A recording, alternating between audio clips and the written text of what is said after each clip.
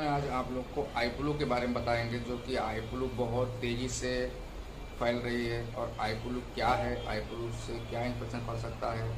Eye flu कोई भारी बीमारी है या नॉर्मल बीमारी है? तो आप लोग को मैं इस वीडियो में सब बताऊँगा। आप बस बने रहे वीडियो के अंदर, अंत तक।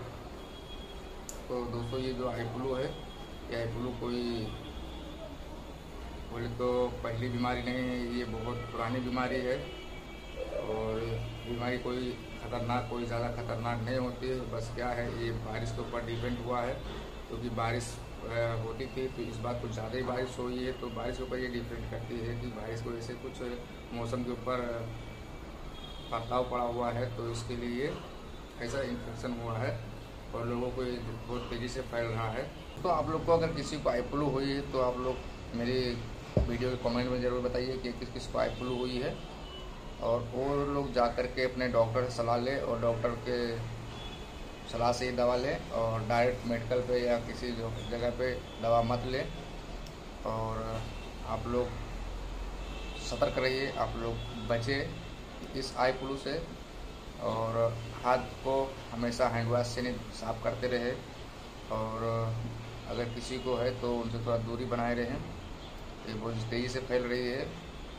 और इसका कोई कोई घबराने की, कोई डरने की, कोई चिंता की बात नहीं है। ये बीमारी हर साल आती है और हर बार आती है। बस ये है कि इस बार में कुछ ज़्यादा हो रहे हैं और अगले साल बीते हुए जो साल चले गए हैं, वो सालों में भी आते थे तो कम था। तो आप लोग से मतलब मैं यही बार बोलूँगा कि आप लोग जो भी हैं तो सतर्क बनाए रहें और एक दूसरे से दूरी बनाए रहें, जिनको आई फ्लू हो चुका है। नहीं तो फिर ये इफ़ेक्ट पड़ सकता है आपके ऊपर भी।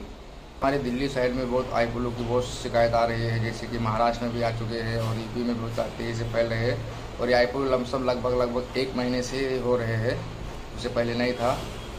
एक महीना हो गया आई फ्लू आकर के। अभी तो फ़िलहाल के लिए जो हमारे यहाँ पे स्टाफ वर्कर जो काम करने वाले थे, उनको भी पहले तो फ़र्स्ट टाइम पे एक को हुआ।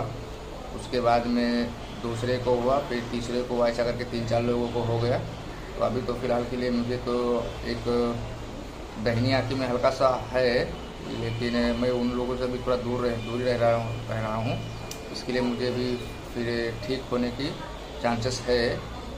तो आप लोग भी बताइए कि आप लोगों किस किस को आई फ्लू हुई है तो आप लोग भी, आप कोई घबराने की कोई बात नहीं, कोई चिंता की बात नहीं है, बस आप लोग डॉक्टर को दिखाइए, डॉक्टर की सलाह लीजिए और वही कीजिए। तो मैं आप लोग को यही सब बताने वाला था।